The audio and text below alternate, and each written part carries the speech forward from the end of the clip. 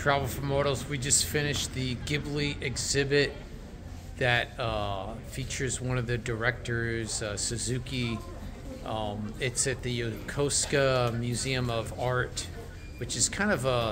It's kind of hard to get out here from Tokyo uh, using trans- public transportation, but the um, the exhibit was really well done.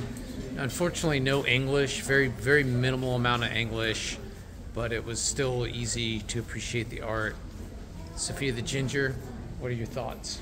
It was really, it was really cute. Worth the trip? Yeah.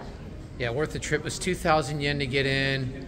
Uh, it is recommended you buy tickets in advance. We came here on a weekday. Uh, we we kind of messed up our arrangements with our advance tickets.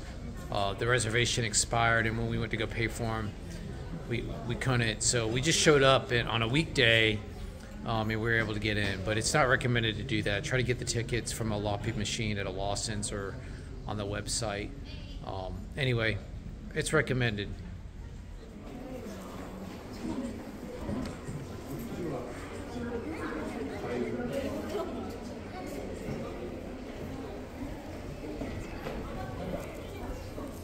All right, this is the Yubaba, and you pull the cord, and it has a number and then you take the you, then you go get a fortune which is your omikuji fortune. This is very much like you would do at a shrine um, to figure out what your fortune is.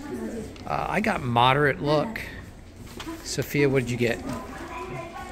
Forthcoming luck. forthcoming luck.